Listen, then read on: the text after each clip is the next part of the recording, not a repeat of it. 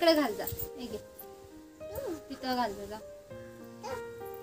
hello friends welcome back to our channel आणि खूप दिवसात आम्ही चॅनलवर नवीन व्हिडिओ नाही टाकले त्यासाठी खूप खूप सॉरी. कारण शेतीची आणि आमच्या एन जी ओची कामं ॲट अ टाईम चालू होती. सो चॅनलसाठी वेळ नाही मिळाला पण इथून पुढे तुम्हाला आमचे व्हिडिओ रेग्युलर बघायला मिळतील. या दोन तीन महिन्यात आम्ही काय बदल केलेत? काय काय पारंपरिक गोष्टी केल्यात किंवा काय काय चालू आहे हे सगळं तुम्हाला आम्ही दाखवणार आहोत. पण त्याआधी चॅनलवर नवीन असाल तर चॅनलला सबस्क्राईब करा व्हिडिओला लाईक करा शेअर करा आणि व्हिडिओ आवडला तर कमेंट नक्की करा. तर तुम्ही बघू शकता हे हवेशीर छानपैकी आम्ही किचन तयार केलं आहे तर चूल आम्ही इकडे बाहेर घेतली आहे आणि हे तुम्ही सेटअप सगळा बघू शकताय. हवेशीर आणि मस्त अगदी जुन्या पद्धतीने केला आहे जसं आधी पूर्वी आमच्या घराच्या मागे होतं तसं आम्ही बनवलं आहे घरात सध्या काम चालू आहे सो चूल आम्ही बाहेर घेतली आहे सो तुम्ही बघू शकता हे सगळं. ह्या करंड्या सो बाबांची चुलत बहीण आहे ती बनवते हे सगळं. तिकडून आणलेलं आहे बाबांनी. बघू शकताय. खूप छान पद्धतीने बनवलेलं आहे हे. आणि ही खूप खूप चांगली कला आहे त्यांच्या हातात. सो इथं आम्ही जातं घातलेलं आहे. आणि ह्याला म्हणतात वाईन. ज्यात आम पूर्वी भात वगैरे कांडायचे. आणि आत्ता गिरणीचा प्रकारचा आहे. सो पण हे तरीही आम्ही लावलं आहे कधीतरी चटणी वगैरे करायला. आणि हे आहे जातं. अजून बऱ्याच गोष्टी तुम्हाला दाखवायच्या आहेत. तर चला सगळं बघूया आपण.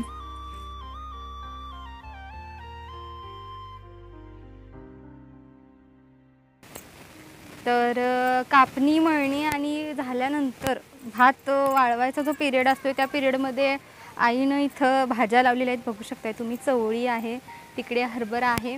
घेवड्याचा वेल आता चढला आहे फणसाची रोपं आहेत जी आम्ही यंदाच्या पावसाळ्यात लावणार आहोत. आणि तुम्हाला आता आमचं एन जी ओचं ऑफिस आणि भात आम्ही जिथं साठवतो ती जागा दाखवणार आहे.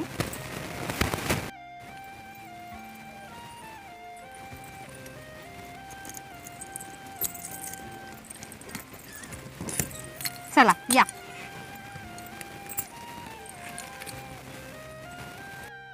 तर ही आहे आमची धान्य साठवायची जात आणि हे दोन तट्टे आहेत ज्यात आमचं भात आहे. आणि पारंपरिक पद्धतीनेच आम्ही हे साठवतो. आणि बघू शकता तुम्ही शेणाचं लिंपण घालून आतमध्ये भात ठेवून खाली खालीवर गवत टाकून त्याच्यावर शेणाचं लिंपण घालून हे पॅक केलेलं आहे. सो गेल्या वर्षीचं भात अजून संपलेलं नाही ते संपल्यानंतर हा तट्ट्या ओपन करण्यात येतो. बघू शकताय तुम्ही. आणि अजून थोडं भात ठेवायचं आहे तट्टीत सो ते वाळत घातले आणि थोडं आतमध्ये आहे. त्यानंतर तिसरा तट्ट्या लागणार आहे.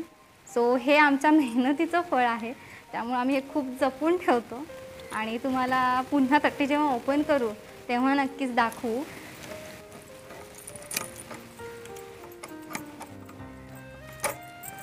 तर हे आहे आमचं एन जी ओचं ऑफिस सो ते बघूया चला. तर हे आमच्या संस्थेचं ऑफिस आहे. सध्या काम चालू असल्यामुळे इथल्या बऱ्याचशा गोष्टी फर्निचर वगैरे हलवलं आहे पण बघू शकताय तुम्ही हे सगळे संस्थेला मिळालेले पुरस्कार आहेत. गेली दहा वर्ष आमची संस्था काम करते आहे ग्रामीण भागात. आणि हे इकडे आम्ही स्टुडिओ बनवला आहे हा घरच्या घरी आम्ही बनवला आहे सो बघू शकताय. हा आमचा छोटासा स्टुडिओ. सगळ्यात महत्त्वाचं म्हणजे शेती त्यानंतर एन जी ओ आणि खूप सारे ट्रेनिंग्ज असतात आणि हे सगळं करताना सगळ्यांचीच खूप दमछाक होते. पण ही माहिती तुमच्यापर्यंत पोचवणं हा एक छंद बनून गेलेला आहे आवड बनून गेलेली आहे आणि तो आम्ही जोपासण्याचा नक्की प्रयत्न करू.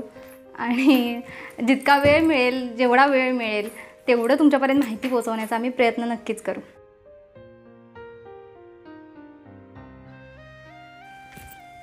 तर मी आता तुम्हाला आम्ही आमच्यापुरती भाजी कशी बनवतो कशी लावतो ते तुम्हाला दाखवते. या इथे रिकामी जी दिसते जागा इथं आम्ही जगदाळा टोकनला आणि हे इथे आम्ही आमच्यापुरती आम्ही सगळ्या भाज्या लावतो ज्या आम्ही अजिबात विकत आणत नाही. पूर्ण गेली तीन वर्ष लॉकडाऊनची दोन वर्ष तरी आम्ही अजिबात खरेदी केलेली नाही आहे बाहेरून. सो बघू शकताय तुम्ही सगळे इथून ही टोमॅटोची रोपं कडेनी लावलेली आहेत. आणि हे पपईचं झाड आमचं हे कढीपत्त्याचं आणि कारली वगैरे पूर्ण लावलेली आहेत सगळे आम्ही. आणखी तुम्हाला बऱ्याच गोष्टी दाखवायच्या आहेत. हे इथे तुम्ही बघू शकताय. आलं मिरच्या मोहरी वांगी गवती चहा तुळस आणि इथे ही टोमॅटोची रोपं मोठी झालेली आहेत. सो आणि हे आहे अन्नपूर्णाचं झाड. झाड म्हणजे गवतासारखंच आहे ते पण मसाले भात वगैरे करताना ते वापरतात. तर तुम्ही बघू शकता या शेणी लावायला सुरू केले आईनी. नाचण्याचं जे आपण बियाणं तयार करतो म्हणजे त्याला आम्ही इकडे तरू असं म्हणतो. नाचण्याचं जे आपण तरू तयार करतो त्यासाठी आधी ह्या शेणी वाळवून त्याचा एक थर गवतावर ठेवून ते जाळून ते थंड झाल्यानंतर त्यात आपण बिया पेरतो ह्या नाचण्याच्या. सो त्यासाठी ह्या शेणी लावल्या जातात. तर तुम्ही हे सगळं जे पाहताय ह्या शेणी लावलेल्या होत्या ज्या मुंगसाने सगळ्या विस्कटून टाकलेल्या आहेत. सो आणि ही आमची शेणाची गायर आहे ज्याचा आपण शेणखत म्हणजे सेंद्रिय खत म्हणून वापर करतो. त्यानंतर इकडे हे जे तुम्हाला मधी मधी गवत दिसतं याला लसूण गवत असं म्हणतात. उन्हाळ्याच्या दिवसात जनावरांसाठी जवळचा ओला चारा म्हणून याचा वापर केला जातो आणि पावसात उपलब्ध होतं. जेव्हा खूप पाऊस सुटतो आणि गुरांना आपण चाऱ्याला घेऊन जाऊ शकत नाही तेव्हा याचा वापर होतो. आणि इथे कलिंगड आणि काकडीच्याही बिया लावलेल्या आहेत आम्ही. असं नाही आम्ही खूप भाज्या लावतो पण आम्ही आमच्या पुरत्या भाज्या अशा लावतो. सो इथे खूप सारे टमॅटो लागलेले आहेत. बघू शकताय. खूप लागून गेलेत संपलेत ॲक्च्युली तरीही भरपूर आहेत. आणि हा आमचा नवा आंबा यंदाच मोहरला आहे सो बघूया आता ह्याची टेस्ट कशी आहे लागल्यानंतर. आणि इथं आम्ही नारळीची आणखी आंब्याची झाडं आहेत. आणि हे आमचं बदामाचं झाड आहे जे गेल्या वर्षीच लागलं आहे पण पिकलेलं काही नाही आहे फळं गळून पडत आहेत सो ही मेथीची भाजी लावली होती थोडीशी शिल्लक आहे. हा पालक आहे इथे खाली. आणि आणखी एक तुम्हाला मी वाण दाखवणार आहे गावाकडचं. जे शहरात फारसं पाहायला मिळत नाही. सो ते आपण बघूया आता. ज्याचं नाव आहे जगदाळा. वरण्यासारख्या शेंगा असतात त्याच्या पावट्यासारख्या. पण चवीला अतिशय वेगळे आणि खूपच छान लागतात. सो एखादी जून झालेली शेंग हाताला येते का बघून मी तुम्हाला दाखवते.